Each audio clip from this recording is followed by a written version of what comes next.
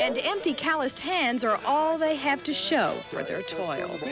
Even so, Chet Halley says there's a famous story of Bowie's last attempt to retrieve the hidden treasure. And they got a bunch of mules and supposedly stole. They found, they found the cave where the Indians had stored the silver. And he got 20 mule loads. How much is a mule load of silver? It's a bunch.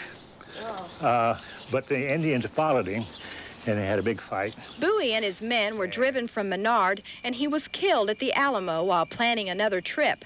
Now, as a part of Jim Bowie days, cowboys gather by the San Saba River, not far from the old Presidio, for a trail ride and cowboy breakfast.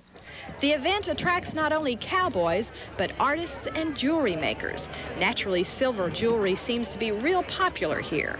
You can browse the courthouse lawn of the historic town for this family-oriented three-day event.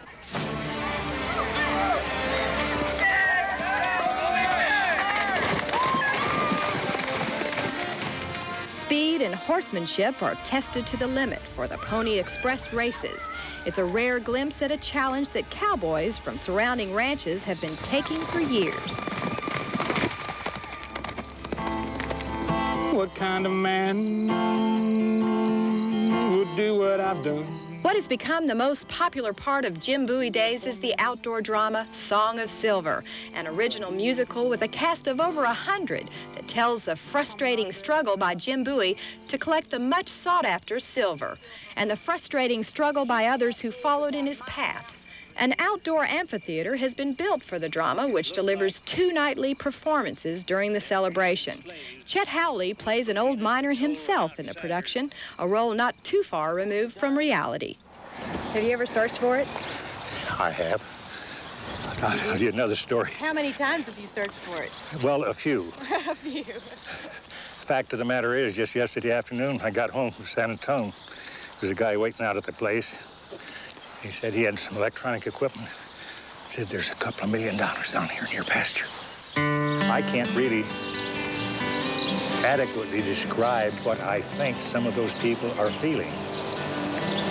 It's a, it's a romantic feeling. It's a selfish feeling. It's a feeling that uh, I got to do it. I got to do it. I'm going to find it. If I don't find it today, I'll find it tomorrow. If not tomorrow, the next day. And they go on and on and on.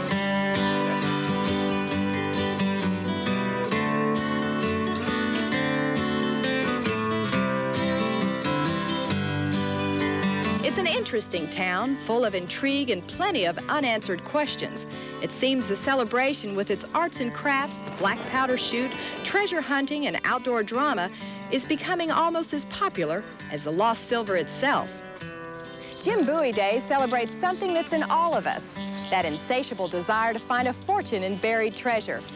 The widely acclaimed Song of Silver tells a dramatic story about the best-kept secret in Texas, the legends and lovely scenery at a hidden little place called Menard.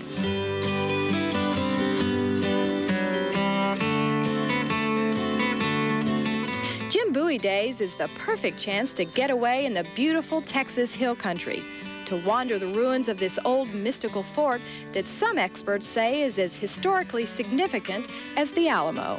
The celebration is an annual event, the third weekend in June. For more information, call the Menard Chamber of Commerce at 915-396-2365. San Antonio.